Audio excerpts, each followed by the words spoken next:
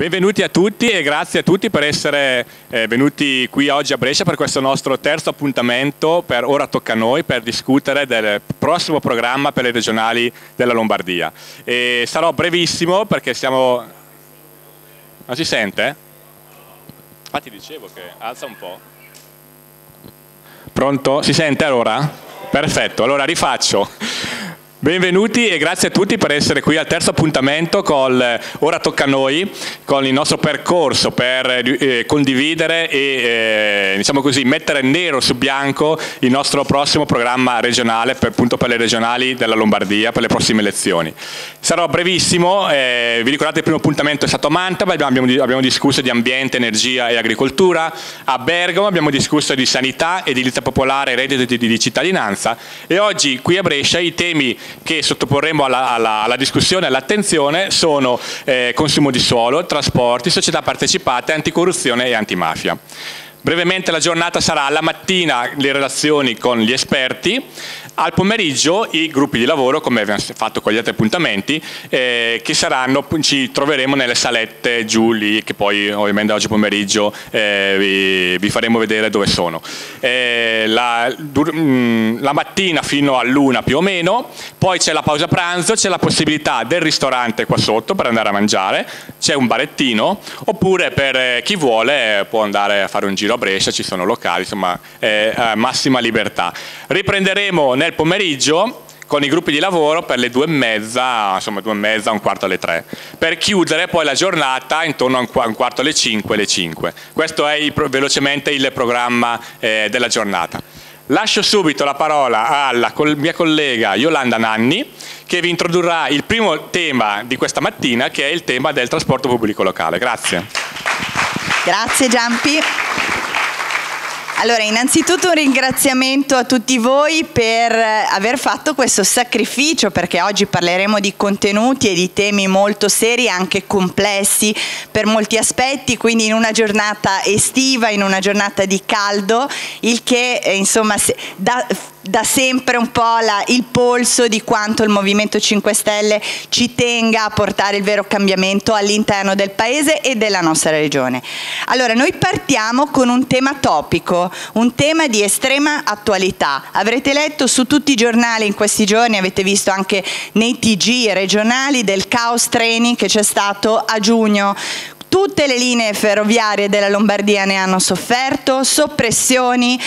treni in ritardo, Qualità del servizio zero, cioè persone costrette a viaggiare su carrozze sovraffollate senza neanche l'impianto di condizionamento attivato con 40 gradi fuori e quindi anche un rischio per la sicurezza e l'incolumità degli stessi lavoratori che sono su questi treni ma anche dell'utenza. Una completa debacle, una debacle annunciata più volte dal Movimento 5 Stelle che in questi quattro anni ha dato battaglia per un primo fondamentale punto dal quale poi nascevano tutti gli altri che avrebbe dovuto fare la giunta Maroni e non ha fatto, e cioè portare la trasparenza, e oggi capite perché il valore di questa parola è declinabile in ogni ambito, in ogni settore in cui si vuole cambiare le cose veramente, la trasparenza all'interno della governance di questi organi che sono partecipati da Regione Lombardia.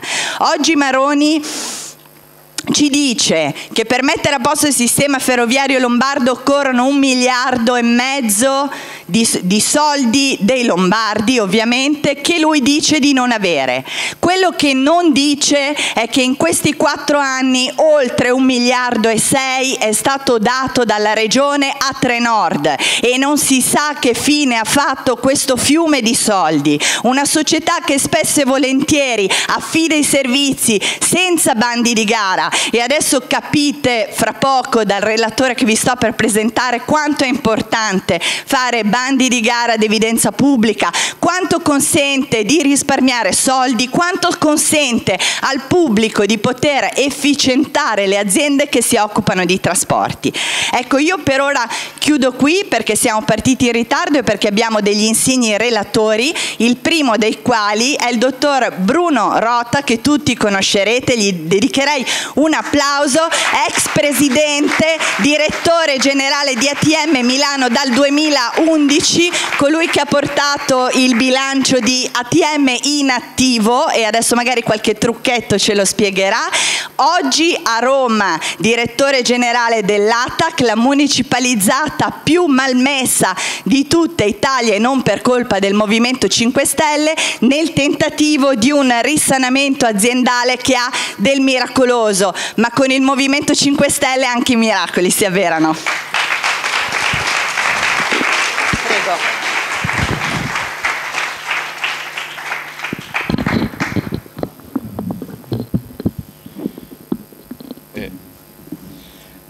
Grazie. Eh, il Corriere della Sera quando sono arrivato a Roma ha, fatto un articolo mm, che mi ha gratificato, mi ha detto che sono il mago dei trasporti e dopo pochi giorni era un dibattito pubblico, è stata eh, l'ultima volta che sono andato, questa è, dopo tre mesi che sono a Roma è la prima volta in cui parlo in pubblico. E alla giornalista di Sky TG24 che faceva da moderatore mi ha detto mago dei trasporti qual è la ricetta per l'ATAC di Roma? E ho detto che per l'ATAC di Roma non ci vuole un mago dei trasporti ma ci vuole un esorcista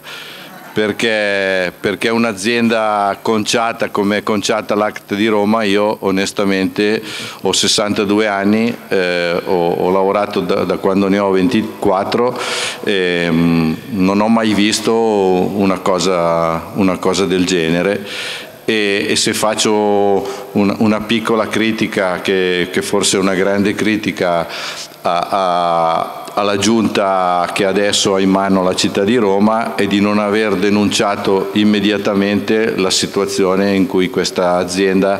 è stata conciata in questi anni perché eh, un'azienda che ha perso un miliardo e cento milioni in otto anni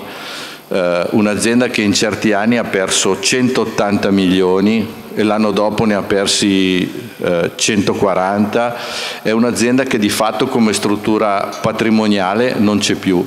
È un'azienda che ha debiti per un miliardo e 300 milioni, ed è una coincidenza che, che, che, sia uguale al numero delle perdite perché voi sapete che uno può avere anche i bilanci sempre inutili e poi avere un, un debito perché sta facendo investimenti virtuosi, sta comprando treni eccetera. Non è il caso dell'ATAC, l'ATAC ha un parco mezzi che ha un'anzianità di, di 13 anni che quindi è, è, è la più è uno dei più alti in Italia e, è una situazione in cui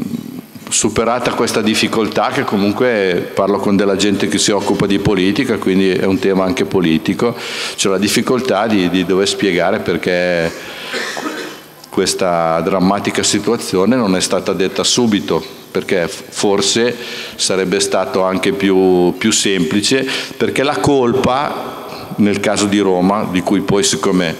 eh, eh, io sto a Roma ormai fisso, e quindi no, il primo giorno che vengo in Lombardia, dopo di, di Atac non parliamo più perché eh, è abbastanza pesante parlare di Atac.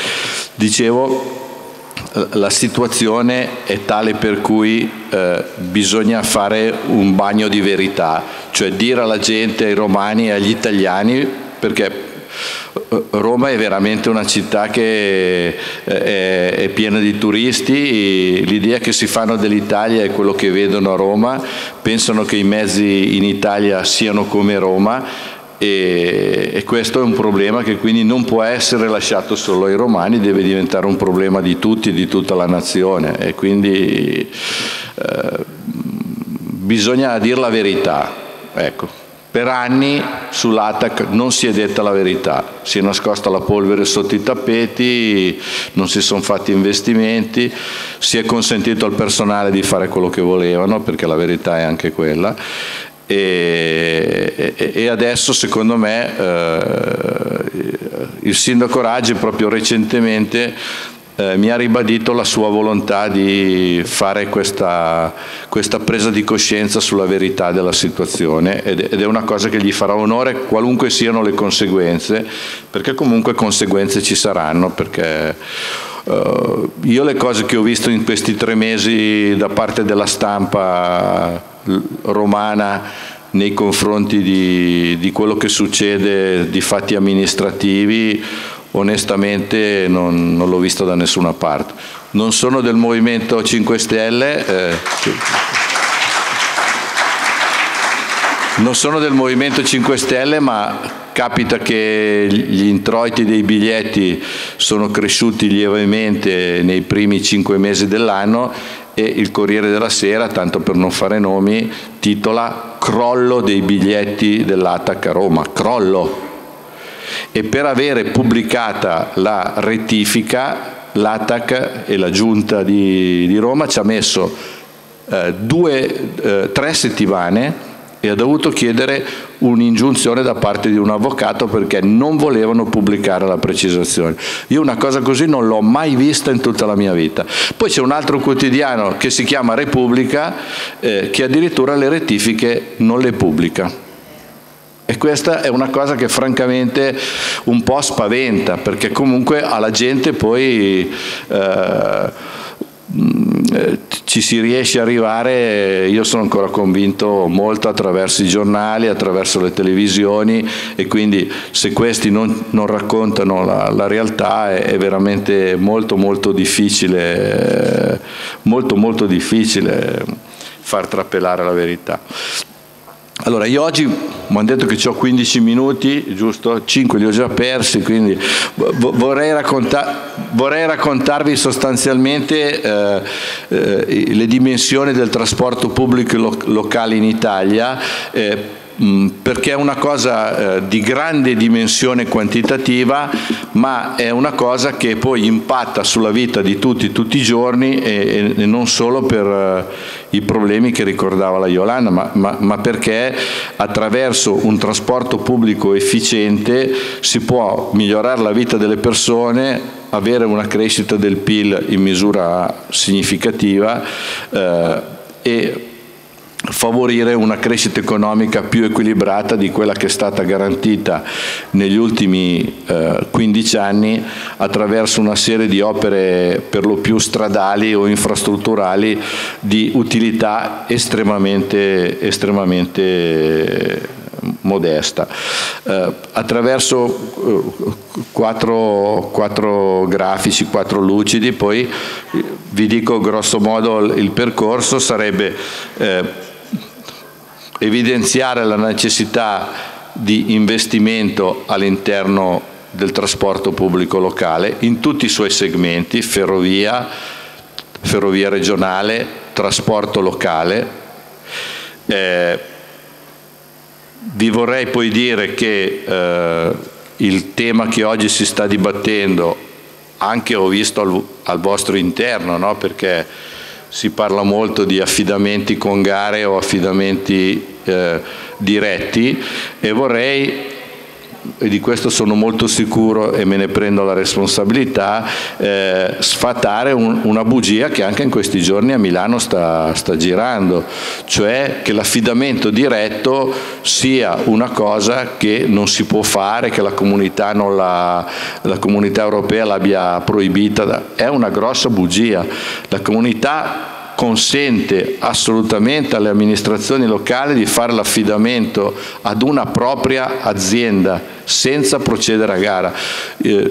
non sta a me oggi dire qual è dei due sistemi il migliore, dico semplicemente che sono entrambi sistemi leciti, che sono entrambi sistemi abbondantemente usati anche all'estero e che quindi dire che c'è solo la via delle gare eh, eh, competitive in cui può arrivare chiunque a fare l'offerta per il trasporto locale non è una cosa vera perché la legislazione non dice assolutamente quello. Eh, a sostegno delle ipotesi dell'affidamento diretto è che quando il comune, la realtà locale, la realtà stessa regionale ha un'azienda che ha dei parametri di efficienza e di buon servizio ai clienti e soprattutto non perde soldi, eh, il continuare con un'attività virtuosa può essere una soluzione. Quindi andare a gara o andare con affidamento diretto sono entrambe le cose scelte legittime. Poi le forze politiche dovrebbero, secondo me, con chiarezza, volta per volta, dire qual è la loro opzione, dirlo magari prima delle elezioni, così un cittadino poi sa se si riconosce più o meno in, in, in, quella, in quell'ipotesi. Ma no alla storia che sta girando a Milano adesso, per cui l'affidamento diretto non, è, non si può fare, è vietato, non è vero. In Francia ci sono un sacco di affidamenti diretti, un, un sacco di municipalità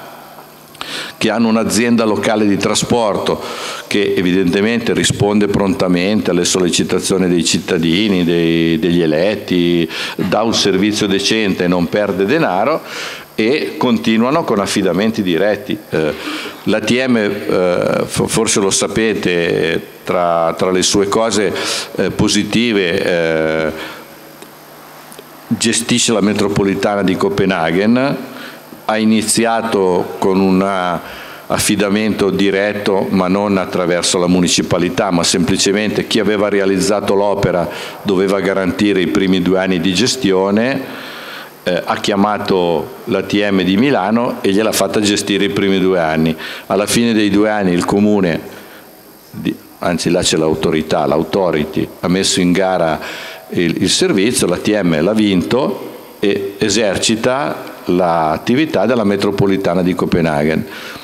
Siccome i parametri economici sono particolarmente soddisfacenti, per dirla brutalmente l'ATM fa parecchi utili a Copenaghen,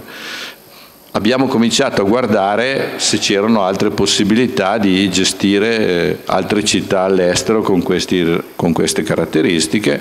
e ATM è pronta a partecipare alla gara di Lille in Francia. Altre città, Nantes, che sono per dimensioni, per tipologia interessanti, siamo andati là, però ci hanno detto che siccome l'azienda mm, del comune di Nantes, nel caso specifico,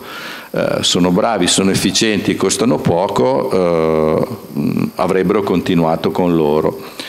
Come si fa a dire che sono bravi, sono efficienti e costano poco? E l'ultima parte del, del mio intervento vi volevo dire cos'è un contratto di servizio e perché il contratto di servizio è un, un,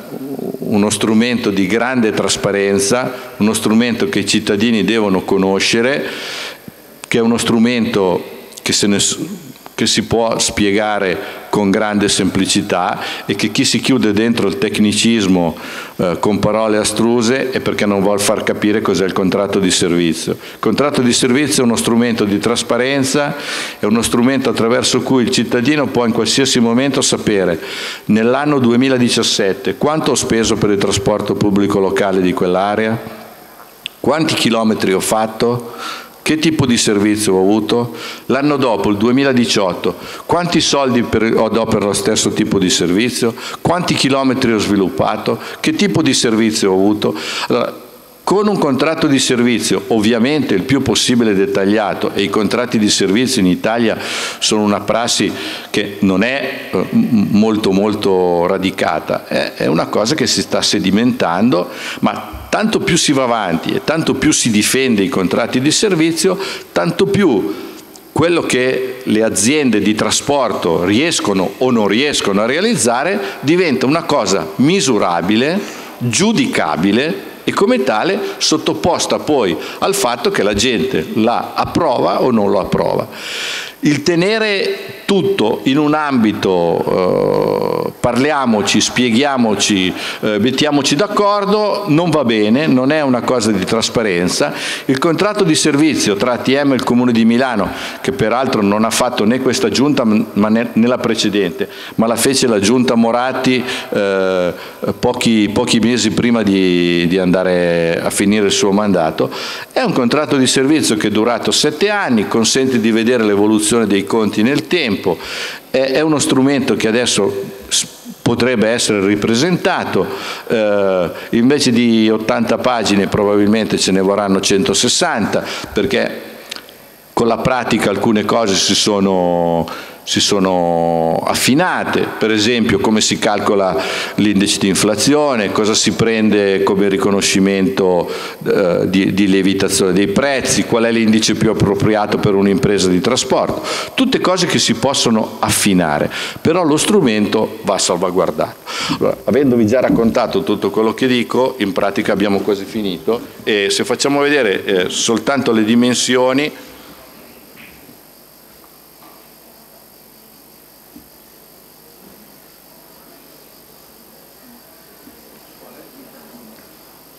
Ah, si può comandare come... come... È lo stesso se, se, se andiamo. Ecco, questo qui sono le immatricolazioni del parco autobus in Italia. Eh, è un andamento che fa pesantemente riflettere, sono costantemente in calo, quindi in questo settore un dato numerico, quantitativo, difficilmente contestabile, è un indicatore tangibile del fatto che nel settore del trasporto pubblico locale eh, bisognerebbe scendere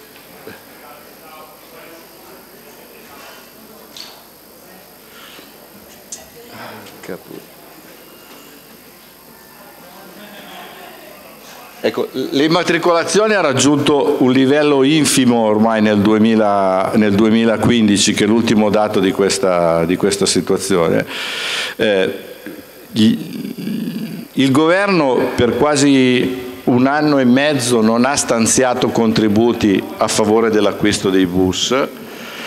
un per l'altro la Lombardia è tra le regioni virtuose perché un po' di soldi sul trasporto locale ce li ha messi. Eh, certamente con questi ritmi qui il parco dei mezzi in Italia è destinato a crescere. Perché un esempio facile sul parco mezzi dell'ATM il parco mezzi dell'ATM è il più basso oggi in Italia è sugli otto anni ed è composto da circa 1450 mezzi. Se tu non hai la forza economica di cambiare almeno 150 mezzi ogni anno, tuo, la tua età media per il solo effetto del trascorrere del tempo ti aumenta. Quindi le risorse per fare questi investimenti devono diventare un elemento di eh, di sollecitazione eh, a chi farà il programma elettorale perché attraverso investimenti nel trasporto pubblico locale si può appunto eh, dare una svolta alla vita delle persone. Il dato di questa tabella mostra che... Eh, no ma lasciamoli fuori, va che è più facile così.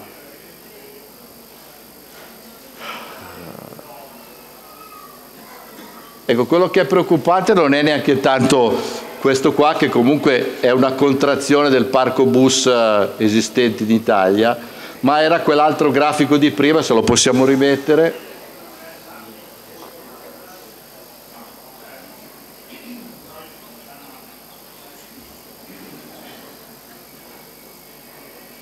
Che sono il numero delle, delle immatricolazioni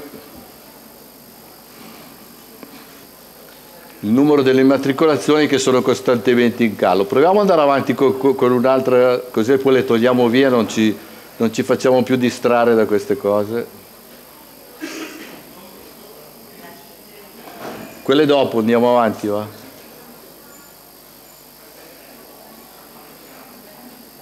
Ma quello è sempre lo stesso, quello dopo...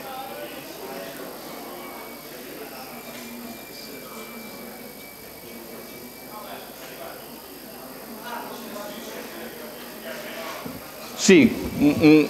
una tabella che si legge poco perché andava ingrandito un pochettino, comunque siccome me la ricordo abbastanza a memoria, eh, sostanzialmente in, in, Italia ci sono...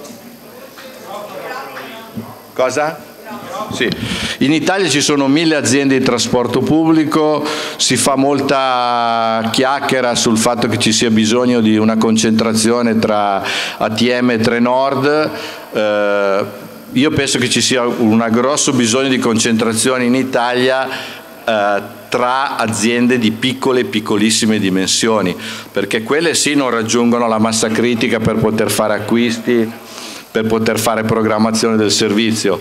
Le imprese grandi, soprattutto imprese come, come appunto ATM che fa un miliardo di euro di fatturato e qui vi dice che la dimensione globale del, del, del mercato eh,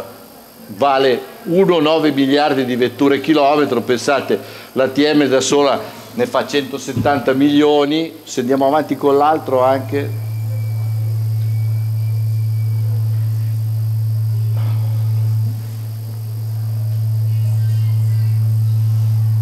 Ecco, questa è una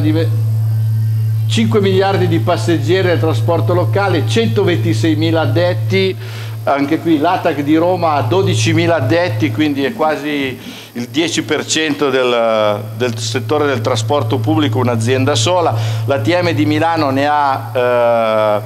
ne ha circa 9.500 e, e sostanzialmente fa lo stesso fatturato, fa un miliardo di euro di fatturato, cioè sono due aziende che da sole fanno il 20% delle dimensioni del, del trasporto. Ah, come funziona un'azienda di trasporto? Perché se no questa cosa qui resterà sempre...